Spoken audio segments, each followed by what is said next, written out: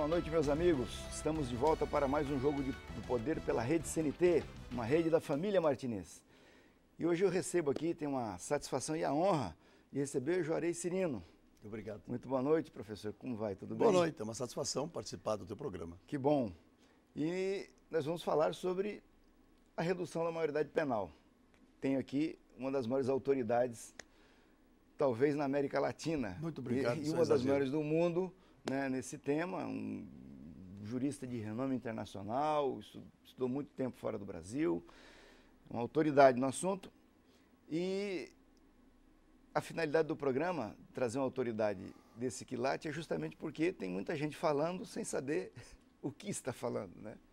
As redes sociais é um, se tornaram um instrumento maravilhoso de democracia, de debate e tal, mas não é representativo de, de coisa nenhuma. Né? É um espaço de opinião.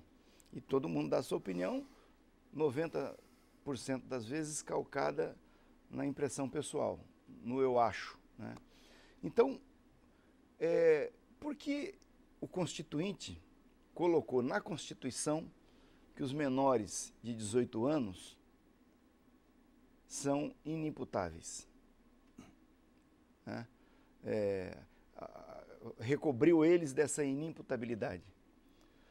Qual foi a finalidade disso e o que aconteceu 25, nesses últimos 25 anos que pode levar a sociedade brasileira a mudar isso? Muito bem. É uma pergunta muito atual.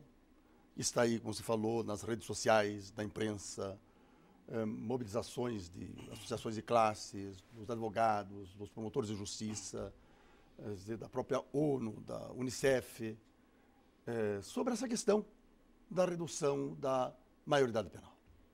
Mas a tua pergunta é, por que, que o Constituinte fez isso? O Constituinte fez isso porque, efetivamente, isso era dever do Constituinte fazer. Quer dizer, a Constituição, no, no artigo 228, estabelece que a, a imputabilidade penal começa aos 18 anos. Quer dizer, diz isso textualmente. São penalmente inimputáveis os menores de 18 anos mas que estão sujeitos à legislação especial. O que significa? Eles não estão, não são irresponsáveis. Existe uma legislação rigorosa contra a juventude, que é o Estatuto da Criança e do Adolescente, que estabelece medidas rigorosas. Tá? Dizer, criança e adolescente. Então temos duas questões. A criança é o ser humano em desenvolvimento até os 12 anos. O adolescente, dos 12 aos 18 anos.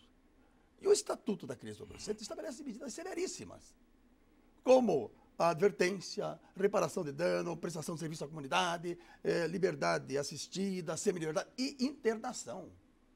Internação até três anos. A internação, na verdade, é o, é o nome que se dá, são medidas chamadas socioeducativas. A criança até os 12 anos não tem medidas socioeducativas, tem medidas de proteção. Mas dos 12 aos 18, medidas socioeducativas, é, que tem, digamos, em princípio, outra finalidade mas a internação funciona na prática como uma prisão. E uma prisão extremamente rigorosa. Porque os, não, mas é só, só três anos. Mas imagine um jovem de 15 anos que pega uma, uma, digamos, uma internação de três anos. Isso nunca passa. O tempo é subjetivo. Para nós o tempo passa mais rápido. Para o adolescente o tempo nunca passa. Então, é, é, existem medidas rigorosíssimas. E a Constituição estabeleceu isso e fixou isso como uma cláusula pétrea. O que, que é uma cláusula pétrea? Quer dizer, o Constituinte estava preocupado, precisamente, é que determinadas disposições constitucionais, que pela sua importância para o indivíduo e para a sociedade, não fossem alteradas por maiorias eh, eventuais do, do, do, parlamento. Estava preocupado com isso. Mas, olha, existem certas coisas que são imutáveis. E é isso que o nosso, o, o, os deputados eh, federais não, estão, não estão compreendendo. Eles são imutáveis. Como, por exemplo, a questão da forma federativa, não pode mudar. A questão do voto secreto, universal, é, é, é, como é que se diz? direto, né? É, é, periódico. Isso não muda.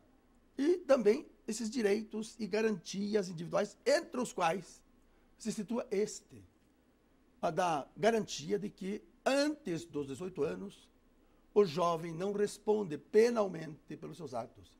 Responde, assim, num outro sentido, assim como medidas socioeducativas, que têm um outro caráter, mas não se mistura com a delinquência comum. Então, isso é uma cláusula pétrea que não é modificável em, em princípio para, digamos, evitar que, eh, como eu disse, maiorias eventuais possam alterar essas, essas disposições de interesse Agora, geral. do ponto de vista é, das ciências sociais, né? o, o, o, essa, esse afã que há em certos segmentos da sociedade de responsabilizar com prisão, por exemplo, é, como é, se essas medidas duras resolvessem o problema, mas isso é uma questão que nós vamos discutir mais adiante. Uhum. o menor de 16 a 18 anos, o argumento que se diz é o seguinte: ele tem consciência do crime que ele praticou. Aí tem coisas interessantes. Certo? É, do ponto de vista da filosofia do direito, da, das ciências sociais, até que ponto essa assertiva é verdadeira? É. É e até que ponto ela é falsa? Sim, é, é muito interessante isso. Porque aqui nós estamos é, tratando do, do, conceito de imputabilidade. não, porque são imputáveis penalmente. O que, que é imputabilidade penal? O que, que estamos falando quando falamos de imputabilidade penal? Às vezes é uma questão muito séria. Às vezes vão reduzir a, a, a, a, imputabilidade, a idade da, da imputabilidade penal. Então, o que é que estamos reduzindo, na verdade? O que é que estamos achando que os jovens eh, são, são, são capazes, quer dizer, que tipo de capacidade eles devem ter para dizer que nós podemos reduzir a, a idade da responsabilidade penal? Então, quando se fala de imputabilidade penal, nós estamos falando de duas coisas muito importantes, das quais só uma, e assim mesmo apenas parcialmente, é vista, eh, enfim, na, no parlamento e, e especialmente na, na, na, imprensa. Vezes estamos falando da capacidade, imputabilidade como capacidade de saber o que faz e de controlar o que faz. Essas são duas coisas. Saber o que faz Quer dizer, nós não temos o, o, o, Código Penal, no artigo, acho que artigo 20, 26, ele estabelece indiretamente esse conceito. Ele não define o conceito de imputabilidade, ele define o conceito de inimputabilidade. É assim que é, o, o, agente por é, doença mental, desenvolvimento mental incompleto ou, retardado, se, se ele é, é, é, não, é, não, não é imputável, a gente que por desenvolvimento mental incompleto ou retardado, por doença mental, desenvolvimento mental incompleto ou retardado, não é capaz de compreender o caráter criminoso do fato. Capacidade de saber. Ou de determinar-se de acordo com essa compreensão, quer dizer, capacidade de controle. Então eu reduzo isso nesta fórmula mais simples. Quer dizer, a imputabilidade como saber o que faz e controlar o que faz. Professor, eu vou Mas ter aqui, que... deixa eu explicar só essas Mas eu vou, ter, eu vou ter que chamar um intervalo, porque aí é... Então ficamos com essa questão para o intervalo. Exatamente. Depois do intervalo voltamos exatamente para distinguir esta questão, do, que aqui é essencial. É, é, saber o que faz, do entender o que está sendo e feito. controlar o que faz. E do controlar o que faz. Isso aí. Depois dos comerciais, volto com o professor Juarez Cirino, aqui no Jogo do Poder.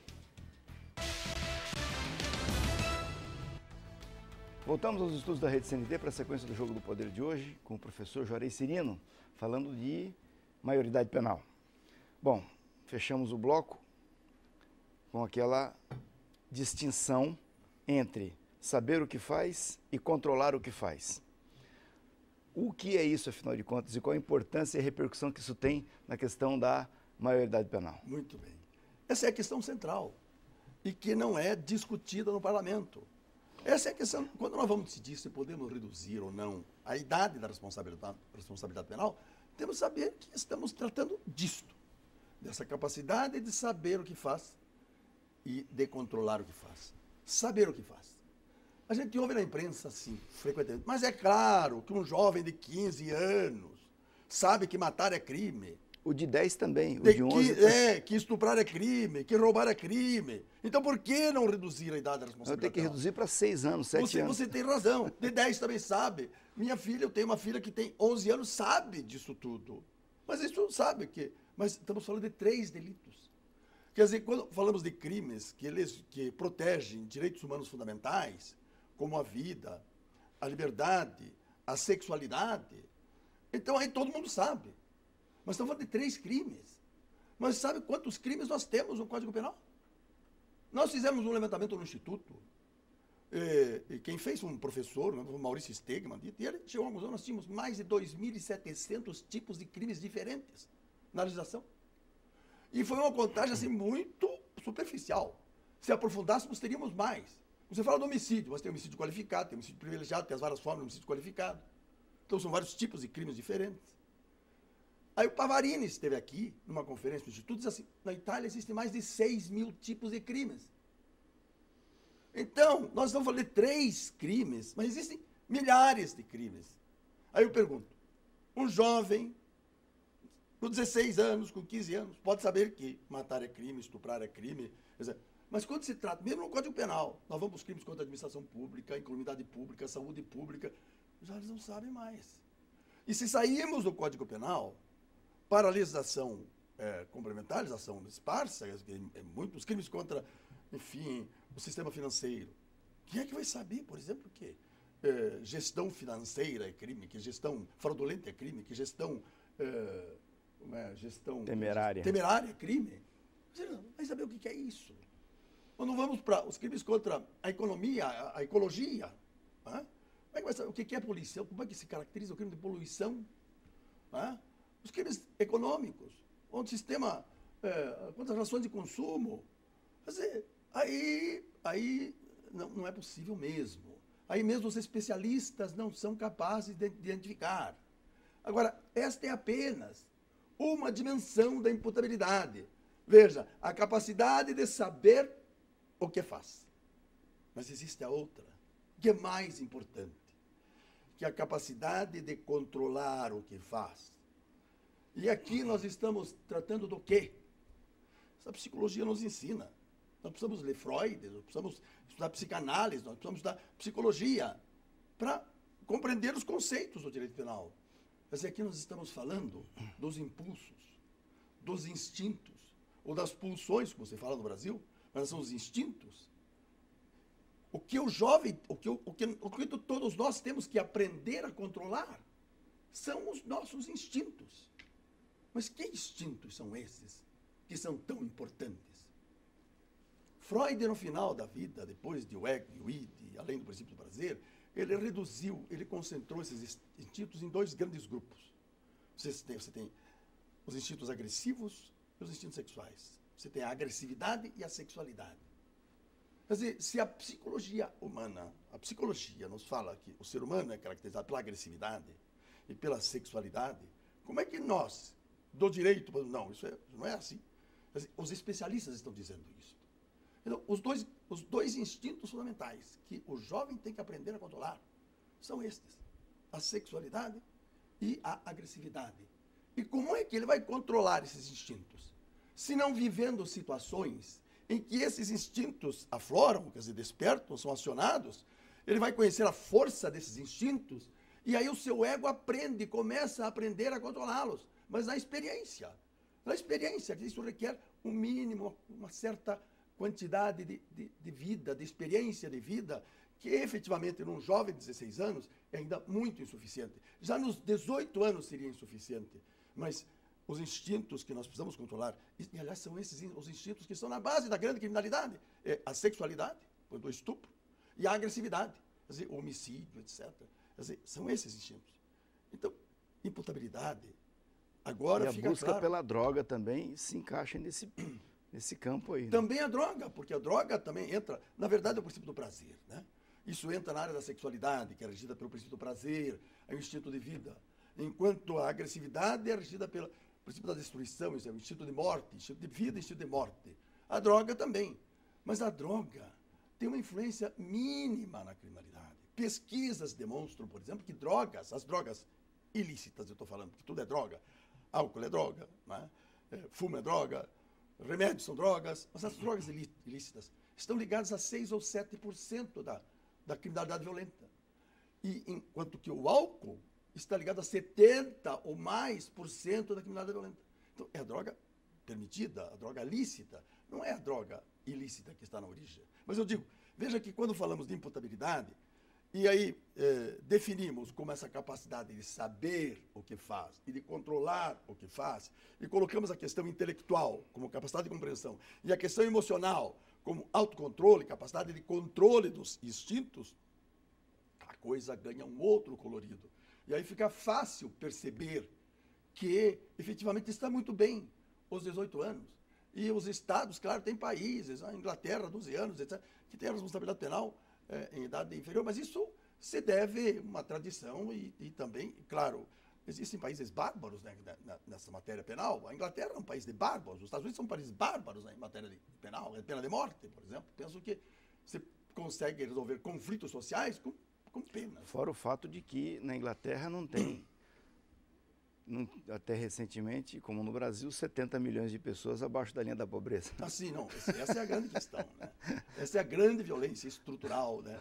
E aí nós criamos, quer dizer, para manter essa violência estrutural das relações eh, fundadas na, no capital, da relação capital-trabalho assalariado, que concentra a riqueza nas mãos de uma elite cada vez menor e generaliza a miséria a privação, quer dizer, socializa a miséria e a privação, para manter esta violência estrutural, quer dizer, da fome, da doença, do, da, da, falta de esperança, da desumanização, da brutalização dos seres humanos, nós precisamos ampliar a violência institucional, quer dizer, ampliar o direito penal. Quer dizer, porque isso significa ampliar o direito penal. Você vai começar a punir aos 16 anos.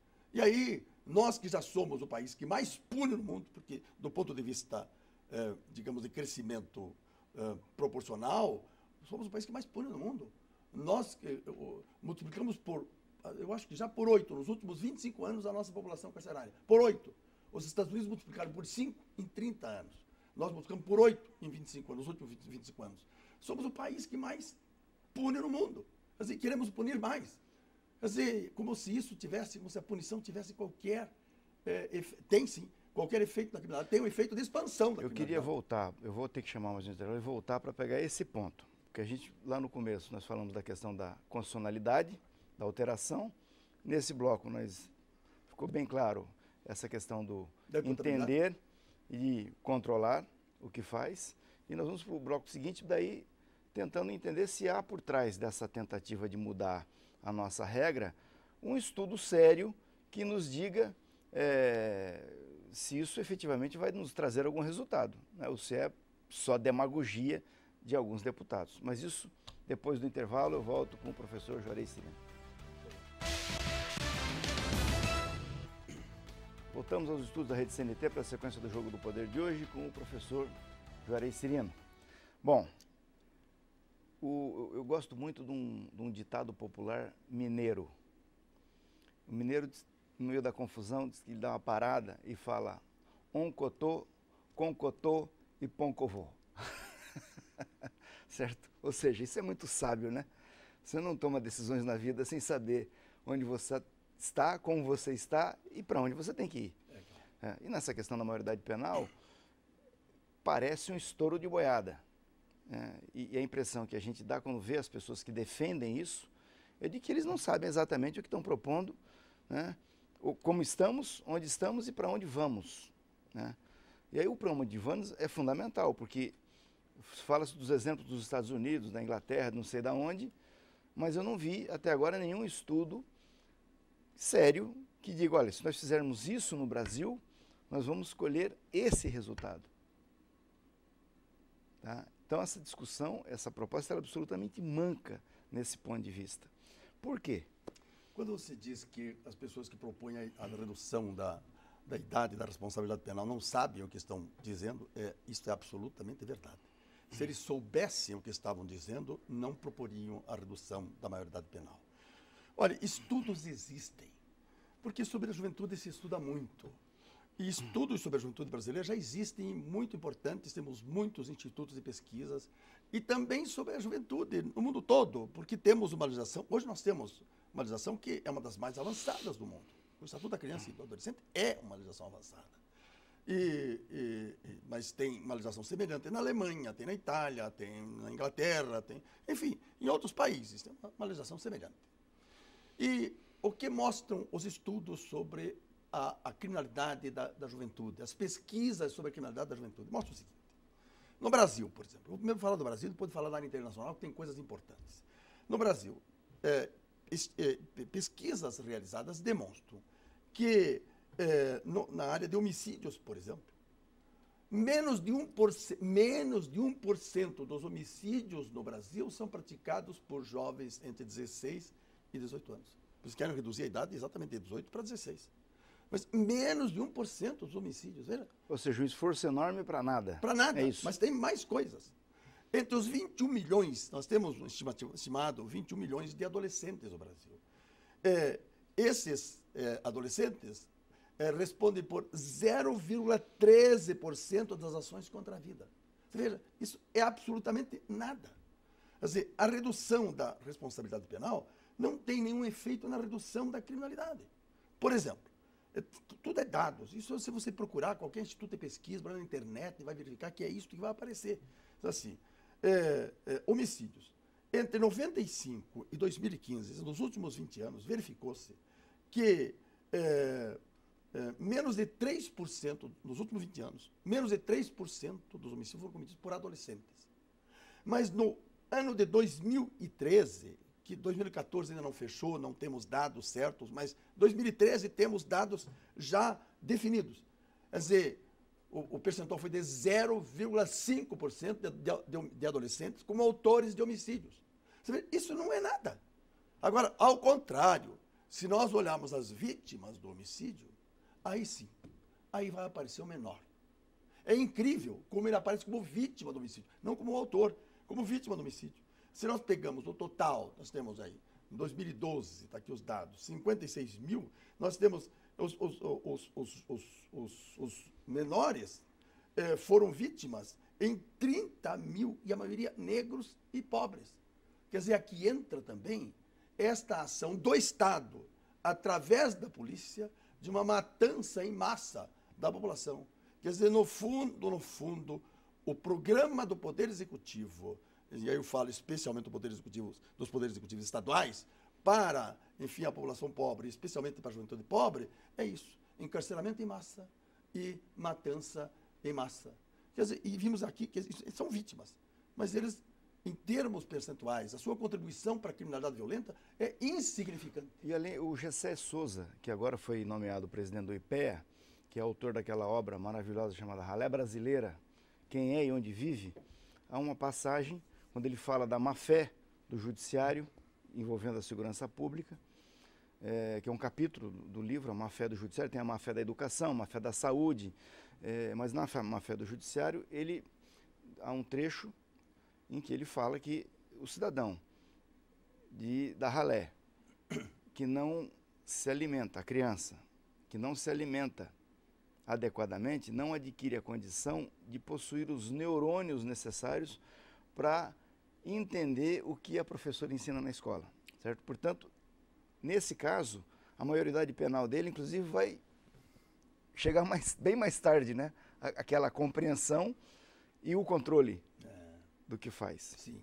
Essas são, são as decorrências desse processo de subsocialização, de marginalização, sabe, de exclusão social em relação... É correto dizer, então, que essa maioridade penal, na verdade, vai implicar em colocar mais preto e pobre na cadeia, mas, é isso?